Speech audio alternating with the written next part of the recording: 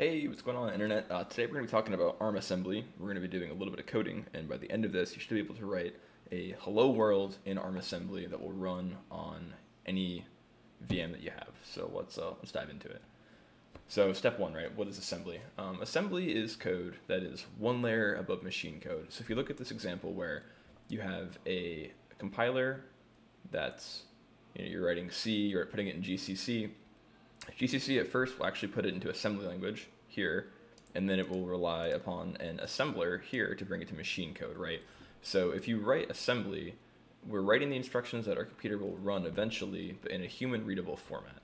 Um, and in this form, it is not consumable by the computer, but it will be uh, at a certain point. We're just we're not there yet at this point. Um, so today, like I said before, we're going to go over the ARM architecture. Um, it's a RISC architecture, so that's reduced instruction set compiler, which basically means it has very few instructions. Uh, it's meant to be simple uh, and easy to, to work with. Um, ARM in particular has become increasingly popular in embedded in IoT, so there's a, a pretty good chance that the router at your house is uh, either ARM or MIPS, but mostly ARM if it's newer. Um, and in my opinion, you know, don't flame me for this, but I think ARM is way more consumable for the beginner over uh, x86, you know, Intel architecture. So ARM uh, consists of a set of registers, right, like any other processor would. Um, registers are physical hyper-fast memory that live inside of the processor, um, and you know, the registers allow us to do quick math operations inside the processor. Um, ARM is a byte addressable architecture, which means that you can ask it to pull memory from any address. It doesn't have to be 4 byte aligned like some architectures do, like MIPS. Um, and then ARM operates in two modes. You have ARM mode, which is the mode where instructions are 4 bytes long, and every you know PC increment when you're executing uh, increments the counter by 4. Or you have thumb mode on some processors where you increment by 2.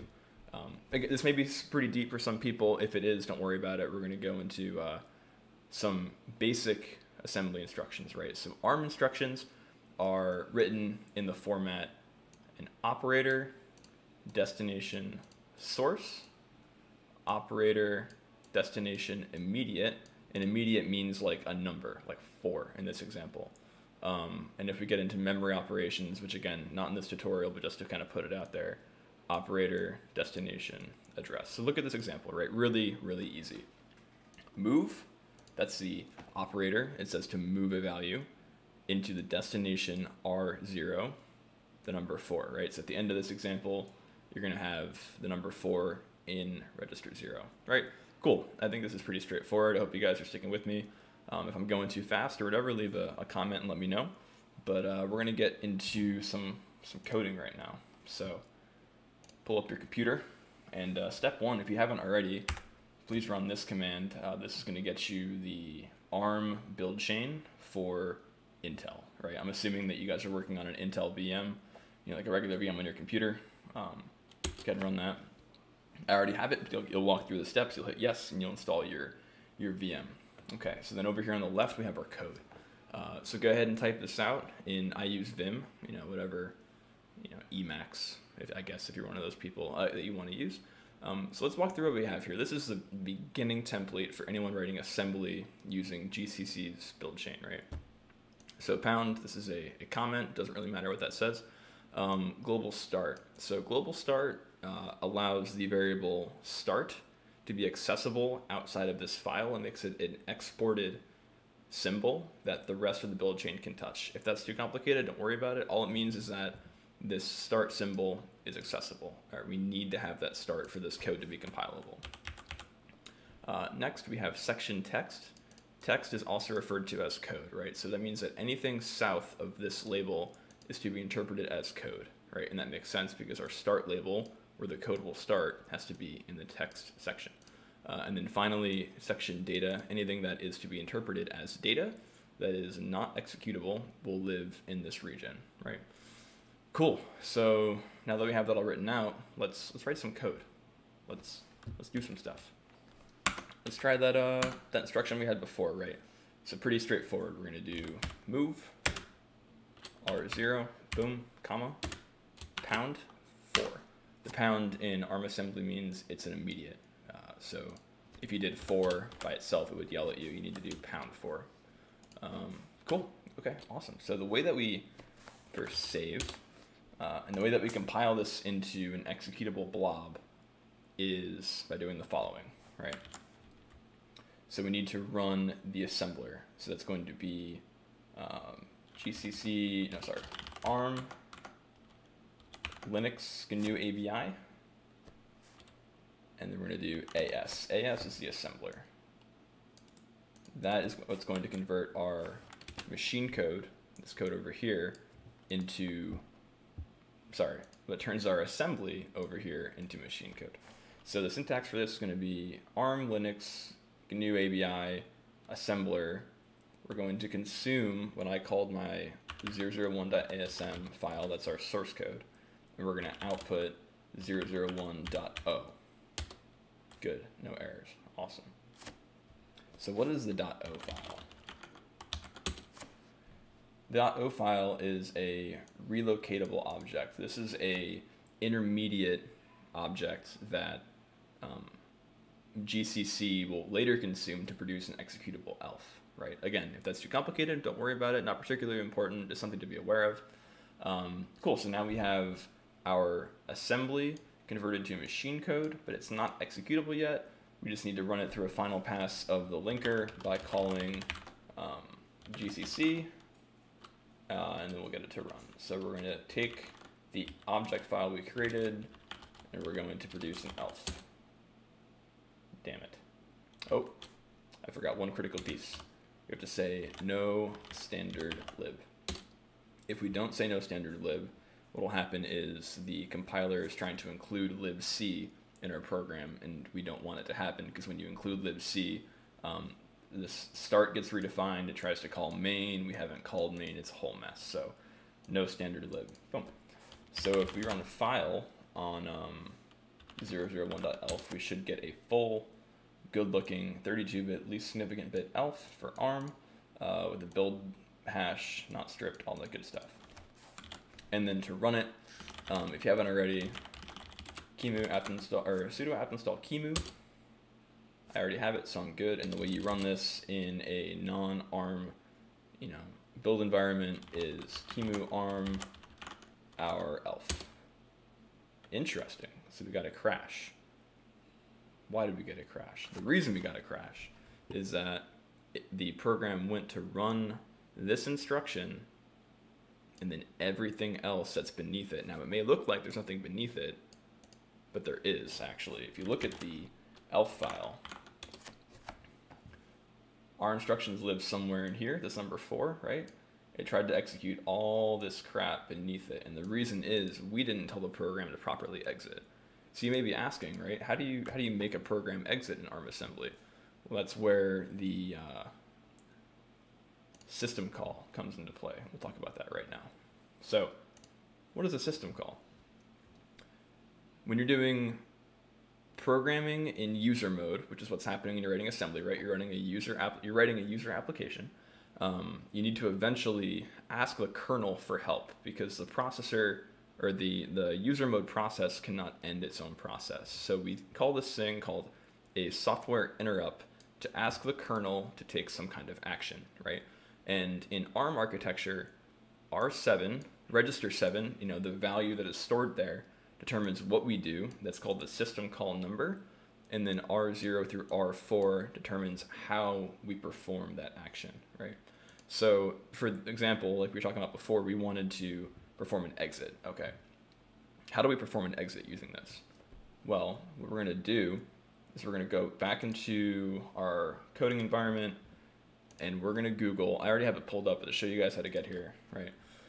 ARM32 system call table. And then luckily Chromium OS uh, has documented this for us. You can find a whole bunch of these everywhere.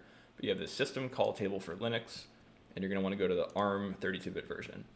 So we have all of the services the kernel is able to offer our program, right? So for this case, we want to run the exit system call. How do we do that? Well, we put the number 1 into R7, the error code we want to return. So our process will return this value into R0, and then we call the software interrupt instruction. So let's do that. So we said R7 had to have, sorry, what did I say? R7 should have one? Yes, R7 should have one. And then in this case, let's just return, I don't know, let's return 13. This is, so this notation up here is hexadecimal, this is decimal. And then we do software interrupt zero. We recompile our program, so we assemble using AS, our, our assembly into machine code. Then we compile into an ELF using GCC, and then we try to run it. Awesome. So we ran the program, it didn't crash, and what was the return value? 13, perfectly, right? So the program worked exactly as we expected. Um, cool, so well, what have we done? We've, we've written some ARM assembly that did something we expected it to, and then it didn't crash. Well, I promise you guys at the end of this, we'll be able to write a hello world. So I'm gonna, I'm gonna satisfy that promise. There are a few more things we have to do first. So how do you write to the screen? Okay, we did an exit before. What, what is the write process? Okay, well, I said that the kernel probably has to take care of this using some kind of kernel service. Oh, well, there's a write. Okay, how do we write to the screen? In Linux, there are three system, or sorry, three file descriptors by default. There's standard in, which is file descriptor zero, standard out, which is file descriptor one, and standard error, file descriptor two. So what we're going to end up doing is we are going to write a string to the standard out file descriptor. Okay, and how do we do that? Well, let's ask the system call table we need to set R7 to 4. We need to set R0 to the file descriptor we're going to write to, which is 1. We're going to set R1 to the data we're going to write to the screen, and then R2 to the length of that data. We're adding a few more arguments now, so instead of just the R0 before, we have R0, one, R0, R1, and R2. A little more complicated, really not that bad. All right, so what do we say we're going to do? The system call is now system call 4. R0 is now the file descriptor, file descriptor 1. Uh, we have to set R1 to something, right? Okay, what is that something? The something is the data we're going to output to the screen. Let's define that data in the data section. That makes a lot of sense, right? The message, so this is a label. We're calling the message we're going to write message, and it is of type ASCII, and it's hello world with a new line at the end. Cool. So what does that do? We've told the assembler, hey, in your data section, there is an ASCII string of this value that we're going to refer to as a message. We're going to introduce a new instruction called load register.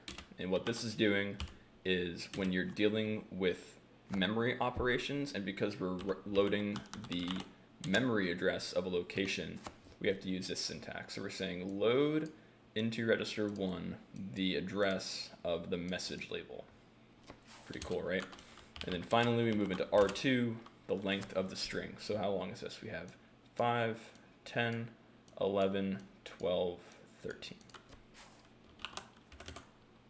And then invoke the, the interrupt. Okay, great.